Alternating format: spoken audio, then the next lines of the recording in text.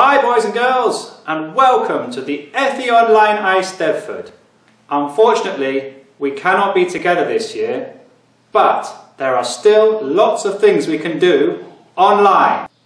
Number one, so unfortunately the Sword of Peace is in school but I've got a substitute that I think is just as good and this one makes noises. So I'm going to say, let there be peace, and you say, peace in our school. Are you ready? Let there be peace.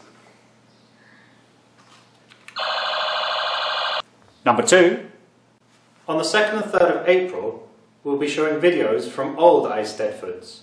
Number three, you can take part in our teacher photo FaceWarp competition. Can you guess who this one is? Number four, we have our beauty at home photo competition.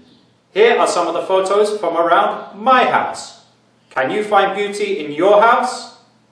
Number five, if you have prepared a dance or a performance for the Eisteddfod, we will find a time where we can do it later in the year. So Flower Girls and the band and the gymnasts, don't worry, we'll still get to see your performances.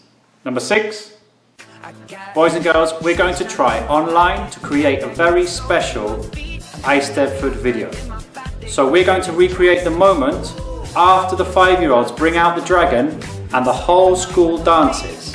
So what you're going to do is at 3.30 on Friday. I want everybody to play Can't Stop the Feeling and do a dance. And we're going to put on YouTube last year's dance so you can learn the choreography.